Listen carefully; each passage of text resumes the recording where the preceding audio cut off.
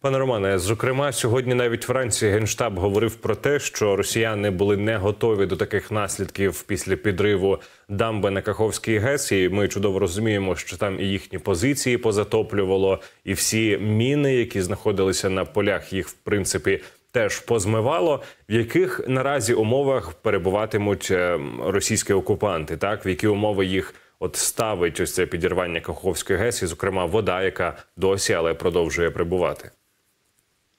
Э, пару недель назад с Олешек россияне начали вывозить тяжелую технику и оборудование такое дорогое из э, э, некоторых промпредприятий. Потому тех, кому надо, те знали, что будет подрыв, или, по крайней мере, готовится подрыв, или как одна из опций для остановки нашего наступления на Южном фронте, в районе Херсонском фронте. То есть пересечение Днепра, форсирование Днепра украинскими войсками. У них была эта опция, они зарядили станцию еще в прошлом году, ее проминировали и станцию, там часть дамбы, э, потому как одна из, один из механизмов э, недопущения наших войск на левый берег, у них это было всегда готово.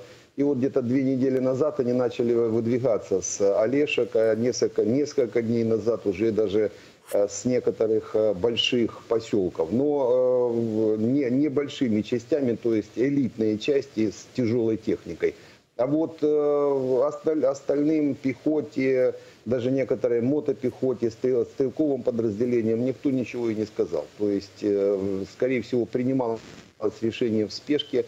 Может быть, оно было продиктовано готовностью наших войск уже начать движение в районе Херсона на форсиров... по форсированию Днепра и некоторых наших групп э, готов... была готовность, ну она всегда в последнее время была готовность э, форсировать Днепр в районе Новой Каховки. Там э, было довольно-таки большое соединение. И вот, может быть, россияне как раз приняли такое в, в попыхах решение, подорвали Э, и смыли часть, особенно ту часть э, в верховьях, э, на которую даже не рассчитывали, что вода так пойдет, и она столб воды выдавит большую часть, ну, большую часть плотины и затопит, особенно ближе к Каховке, затопит российские войска.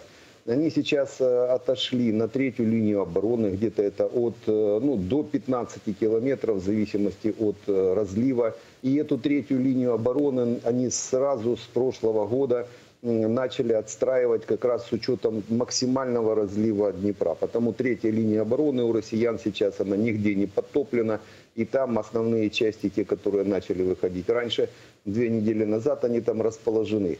Э, у них впереди э, до Днепра зеркало воды, то есть они где-то на месяц э, обезопасили, обезопасили себя от э, форсирования нашими войсками э, в низовье, уже в низовье э, Каховського водохранилища. Пане Романе, От якраз таки про форсування Дніпра і спираючись лише на офіційні заяви від управління стратегічних комунікацій збройних сил України, там запевняють, що Україна забезпечена всіма необхідними плавзасобами та понтонно-мостовими переправами для форсування водних перешкод. Тобто, правильно розумію, що так це затоплення для наших українських бійців є великою проблемою, але глобально не є великою перешкодою. Нет, дело в том, что сейчас просто зеркало воды, которое разлилось, оно до 10, там, до 7-8 километров э, от правого берега. На данный момент э, нет смысла использовать никакие плавсредства. Зачем? Через несколько дней вода сойдет, э, пара недель и подсохнет практически все. И в принципе у нас готовность никуда ж не делать. То есть форсировать Днепр только в его русле. Э, когда вода вернется обратно в русло Днепра, мы можем опять форсировать Днепр и выполнять продолжать ту программу, которая была отложена на несколько недель. Но это максимум месяц, максимум, потому что в зависимости от грунтовых вод и от высоты сброса воды. Пока еще не ясно, до какой э, глубины разрушена э, Каховская гидроэлектростанция и какой все-таки сброс воды произойдет с Каховского водохранилища. Ну, реально это, это максимум э, месяц. Потому никаких проблем у наших войск абсолютно нет. Э, План э, другой с задержкой будет произведен. А сейчас те силы, средства, которые были скоплены и резервы, которые на правом берегу были, они используются на э, запорожском направлении. Интенсифицировались бои начиная от Орехова до Гуляйполя. Это как раз за счет вот и этого подрыва в том числе. Потому все, что предназначалось россиянам на голову, оно будет доставлено им только в другом месте. Ну а через месяц, я думаю, продолжим э, то, то начатое, по крайней мере, что 2-3 дня назад готовилось. Пане Романе, ну і наслідком власне розливу цієї води після підірвання дамби є те, що Кенбурнська коса стала фактично не півостровом, а островом, тому що водою відрізало там трохи її від суходолу, і росіяни були змушені покинути цю територію. Принаймні таке відео з'являлося у соціальних мережах, що вони там гелікоптерами збирали свою техніку, там десь намагалися намагатися виїжджати. Водночас було ще одне відео, де ніби як на Кенбурнській косі вони якраз таки підпалювали е, там і місцевість, і поля для того, аби е, знаєте, таким. е, Дим, димом, димовим шаром прикрити свій відхід, аби, мабуть, їхні підрозділи не було видно з безпілотників і не, не могла накривати наша артилерія. От те, що ворог покинув чи покине Кінбурнську косу, які позитивні моменти для нашого боку є в цьому? Э, После того, как э, Кингурская коса действительно стала островом, э, россияне однозначно с нее уйдут, даже если еще до сих пор не ушли, уйдут точно, так как э, то зеркало воды, которое с э, востока от Кингурской косы, оно не позволяет доста- э, производить доставку военной амуниции. А вот с нашей стороны, с э, западного берега, Днепр, он э, ста- стабилен в этом смысле, потому мы можем сейчас э, на Кинбургскую косу перебросить э, наши части, э, наладить снабжение, так как плечо маленькое, ну и дальше уже э, закрепиться на Кинбургской косе и не допустить э, россиян до, э, до, до этой точки, тем более со стороны россиян подход к ней, к ней еще как минимум месяц будет довольно-таки затруднен. Э, Все-таки вода еще будет стоять или сходить, но тем не менее туда подойти практически невозможно будет. А вот дальше, когда подсохнет уже с Кинбургской косы, это левый берег. Кинбургская коса – это левый берег, э, то есть оттуда можно продолжить наши наступательные действия. Как раз на Кинбургскую косу в ее районе можно использовать все плавсредства, которые у нас есть, и дальше уже э, с Кинбургской косы под кри- прикрытием а, правого фланга моря м, можно двигаться в сторону Армянска. Это один из э, вероятных маршрутов наступательных действий наших войск. Пане Романе, от за деякими припущеннями є такі думки, що от після підриву Каховської ГЕС росіяни відвели вглиб Херсонщини свої війська, і по суті зрозуміли, що це мінус один напрямок контрнаступу збройних сил України. І опісля цього вони можуть перекинути свої сили для підкріплення або запорізького напрямку, або сходу нашої країни. На вашу думку, чи дійсно росіяни можуть перекинути свої війська для підкріплення інших ділянок фронту, та чи вже вони це можливо роблять? Э, Нет, э, дело в том, что почему они, в принципе, подорвали э, Каховскую гидроэлектростанцию, у них было недостаточно сил и средств для того, чтобы удерживать это, это направление. Уже недостаточно. То есть основные силы у них на Запорожском, Донецком и Луганском направлениях. А вот Херсонское направление, оно было в этом смысле ущербно. Таким оно и осталось. Там нечего снимать. То есть сейчас даже на третьей линии обороны, те войска, которые сейчас у них есть, их тоже недостаточно, по крайней мере, если бы вот мы сейчас начали э, форсирование Днепра, их бы, мы бы их смяли. То есть э, там одна линия обороны, она в принципе проходится там, с задержкой в несколько дней и не более того, потому там просто нечего снимать. Они, я даже больше скажу, они скорее всего будут туда еще и добавлять э, некоторые части с Крыма с Крыма будут добавлять части для того, чтобы усилить вот эту третью, третью линию обороны. Они прекрасно понимают, как только возникнет э, возможность, э, украинские войска э, могут двинуться, причем все будет зависеть от ситуации именно с глубиной сброса воды с, Кахо- с Каховского водохранилища. Дело в том, что и уже после по- схода воды с Каховки, э, там открывается еще одна вероятность того, что наши могут в районе Новой Каховки уже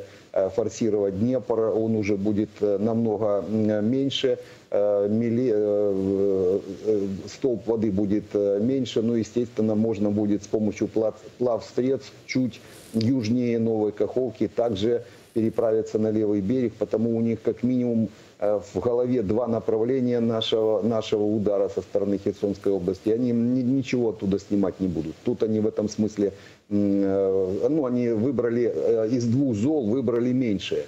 То есть э, затопили свои первые, вторые линии обороны, оставшись на третьей, пока на несколько недель отложив э, на наше, наше форсирование Днепра. Но уводить они никуда никого не будут. Добавлять будут.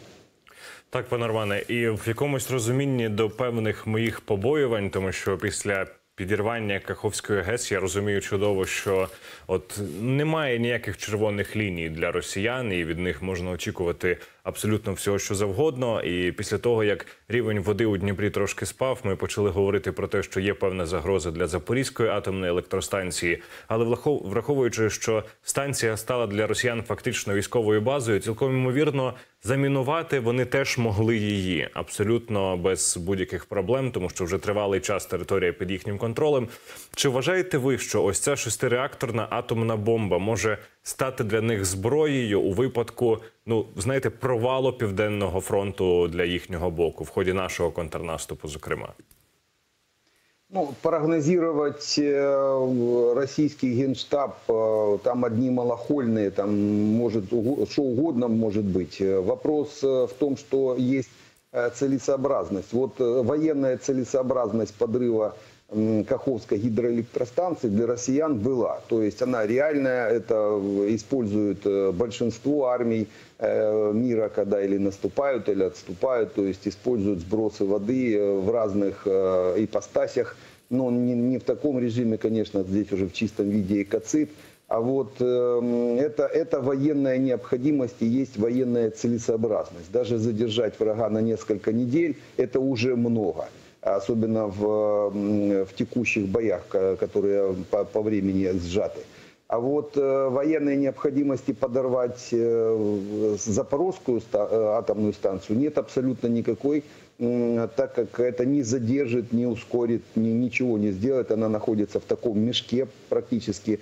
Э, Потому подрыв станции с военной точки зрения, он абсолютно не оправдан. А вот количество проблем, которые себе на голову повесит Российская империя и э, особенно Росатом, а это они только сейчас 6, 6 ядерных э, блоков запускают. Четыре в Акуе в э, Турции, два в Пакште, в Венгрии. Э, Это десятки миллиардов долларов, а с поставками сотни миллиардов долларов. У них э, идут поставки на многие энергоблоки в мире. А это практически сразу вычер- вычеркнет Росатом из экономической деятельности, мировой экономической деятельности. Я не думаю, что, а там тем более находятся инспектора МАГАТЭ, я не думаю, что россияне даже с, с такими малохольными отбитыми головами э, по- поставят себе задачу подрыва э, Запорожской атомной станции. Вот что они могут подорвать, и уже готовность есть, это крымский титан. Они его проминировали, подходы проминированы,